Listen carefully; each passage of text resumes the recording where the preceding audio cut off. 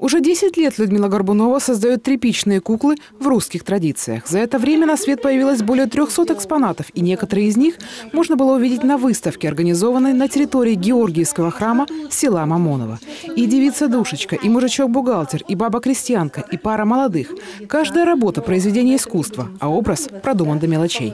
Вот мужичок, который одет в домотканую рубаху. Рубаху я шила по э, всем правилам, то есть здесь есть ластовица. Нет никакой единой формулы и уж тем более моды. Работа может занять как несколько дней, так и затянуться на недели, а то и месяцы.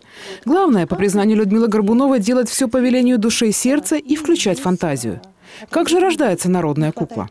Все зависит еще от материалов. Материалы могут быть разные. Это может быть и э, солома, это может быть и, э, как я говорила, уже ткань, это и э, черенок э, от, э, ну просто даже черенок, деревянный черенок. И когда ты начинаешь облекать куклу, начинаешь ее одевать, вот тут рождается образ уже самостоятельно. Автор бережно относится к традициям. Ее детище создается только из аутентичных материалов, уже бывших в употреблении. Именно так и делали в старину.